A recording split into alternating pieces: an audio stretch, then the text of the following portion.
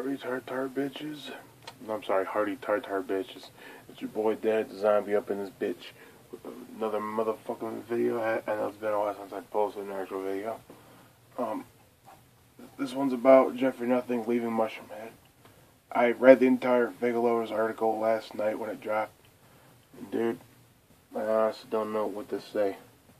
There, there was a comment from from that post on Figalow saying that they that person said that, Jeffrey Nothing was the last person that they were expecting to leave Mushroomhead. As I can agree with that whole wholeheartedly. I didn't think that he that he would leave it.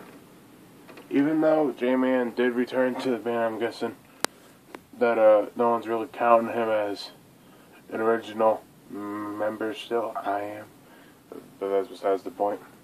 So that means um, Skinny's the only original guy left. That fucking sucks. I mean, I love Skinny. I, lo- I love Mushroomhead. I really do. They're my all-time favorite band, right up there with ICP and MC Snacks and ASAP Rock, and the list goes on on that one. But um, you know, I made a video about Waylon leaving Mushroomhead a while ago. Now, Mushroomhead is gonna be just J-Man. Once they find another guy to re- replace Jeff, I'll still give the band a chance.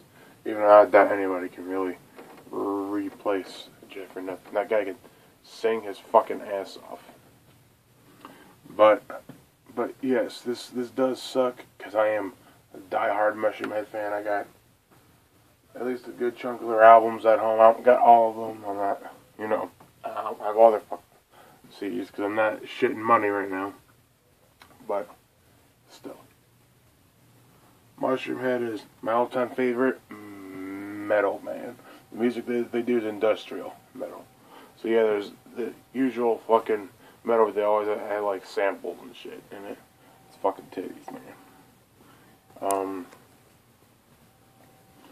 So Jeffrey Nothing, I I had his solo CD. I don't know. I think my little accidentally stepped on it. Don't worry, I got me another copy at home.